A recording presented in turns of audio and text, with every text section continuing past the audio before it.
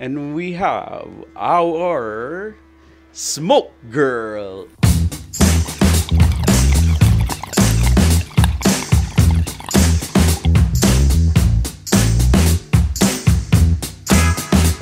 I guess that's enough. All right, thank you. So what we have here is the Lensgo portable fog machine. Not to be mistaken with portable fog machine.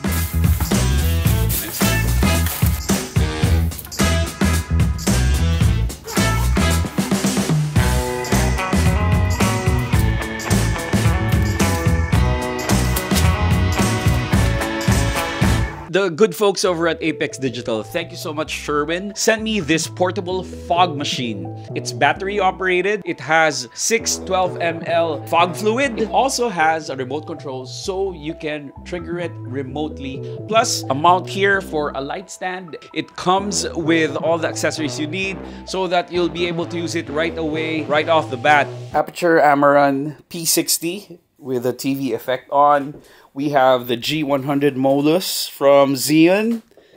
Practical light bulb. Talent. So this shot looks pretty good actually, but it's the perfect chance to use a little bit of haze to sauce it up some more. Adding haze adds mood, texture, and depth to the shot. It adds drama and a certain look to the scene. Also, do a quick search on volumetric lighting. The haze creates beams of light within the space to enhance a sense of, well, volume. It's super easy to use. Charge the device, fill the tank with the fog fluid, and then smoke your scene. Be patient. Make sure to wait and settle the fog down so you don't overdo it. Here's a little sequence to show how the shots look like using the Smoke Bee portable fog machine. Isang lalaking nanghihina ang natagpuan sa isang ilog sa Negros Oriental. Sa layuan mula sa lalaki.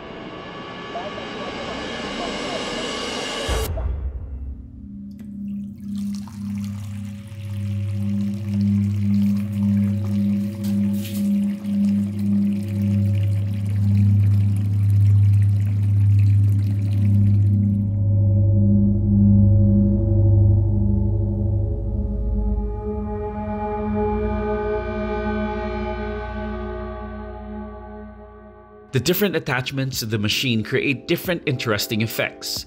There's a spreader attachment and a dry eye simulator among others. The Lensgo Smoke B is an absolutely amazing device to have in your kit.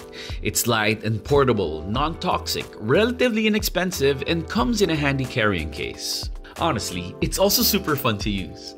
A haze machine for the masses. This smoke machine retails for 15,000 pesos. So thank you so much, Apex.